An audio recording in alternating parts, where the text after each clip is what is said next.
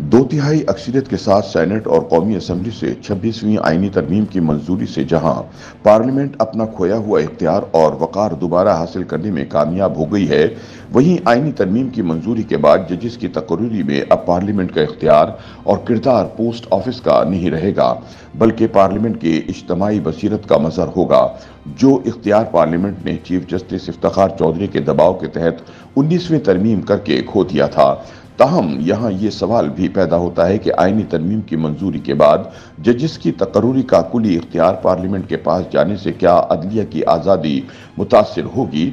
इस सवाल के जवाब में आईनी माहरीन का कहना है कि आईनी तरमीम की मंजूरी से अदलिया की आज़ादी पर कोई हर्फ नहीं आएगा, क्योंकि जुडिशल कमीशन में तो जजेस ही होंगे। उनके हाथ में जजों की तैनाती है। उन्होंने कहा कि जजों की कारकर्दगी का जायजा लेने के लिए जो निज़ाम लाया जा रहा है, वो खुश आइन है। तहम बास दीगर आइनी माहरीन के मुताबिक आइनी तरमीम के मसवदे की रूह से अदलिया में इंतजामिया या एग्जेक्टिव का अमल दखल ज़्यादा बढ़ गया है, जो यकीन अदालतों की वर्किंग पर असरअंदाज होगा। उनका मजीद कहना था कि मंजूर शुदा तरमीम से अदालती निज़ाम में बड़ी तब्दीलियाँ वकू पजीर होंगी। पहले चीफ जस्टिस की तैनाती अज खुद या आटोमेटिक तरीक़ेकार के तहत हो जाया करती थी। अब खसूसी पार्लिमानी कमेटी तीन सीनियर मोस्ट जजेस में से चीफ जस्टिस का इंतखब करेगी। उनका कहना था कि अठारहवीं तरमीम से पहले चीफ जस्टिस की तैनाती वज़ीर आज़म करता था। इसके बाद ये तैनाती खुदकार तरीके से होने लगी और अब ये इख्तियार पार्लिमानी कमेटी को तफवीज़ कर दिए गए हैं। तो एक तरह से एग्जेक्टिव से इख्तियार मुकरना के सुपुर्द कर दिए गए हैं। क्या मौजूदा तरमीम से अदलिया की आज़ादी मुतासर होगी? इस सवाल के जवाब में कानूनी माहरीन का कहना है कि तरमीम से तो शायद अदलिया की आज़ादी मुतासर ना हो, लेकिन जिस तरीके से तरमीम लाई गई है, इससे अदलिया की आज़ादी ज़रूर मुतासर हुई है। माहिर कानून बैरिस्टर सलाहुद्दीन का कहना था कि चीफ जस्टिस की तकरूरी बुनियादी तौर पर हुकूमत के पास जाएगी, इसलिए आईनी तरमीम से जुडिशरी की आज़ादी पर बहुत ज़्यादा असर पड़ेगा।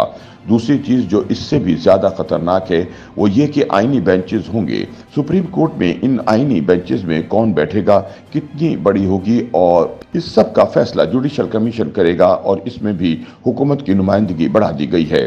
जुडिशल कमीशन पर भी हुकूमत ने अपना कंट्रोल हासिल कर लिया है।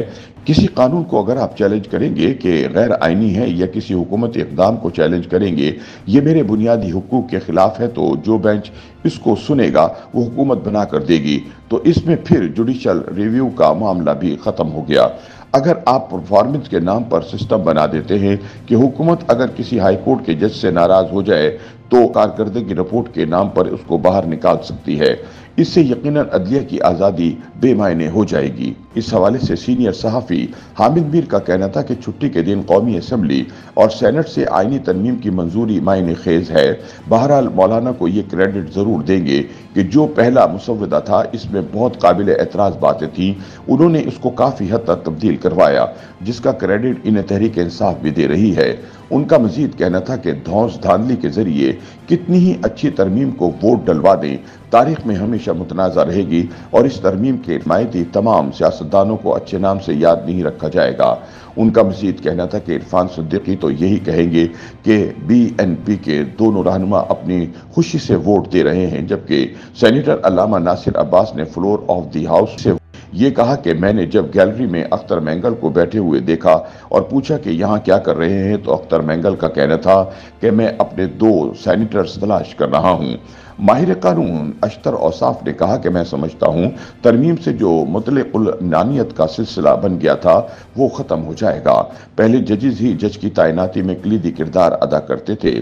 सारी दुनिया देख लें, अमरीका में बाकी ममालिक में देख लें जजिस की तकर्री पार्लियामेंट्री ओवरसाइट से भी होती है। उनका मजीद कहना था कि अब जजिस की कारकर्दगी को भी मॉनिटर होना चाहिए। बाकी सब इदारों में होता है तो यहाँ क्यों नहीं हो सकता? हुकूमत को इस पर भी ज़रूर गौर करना चाहिए।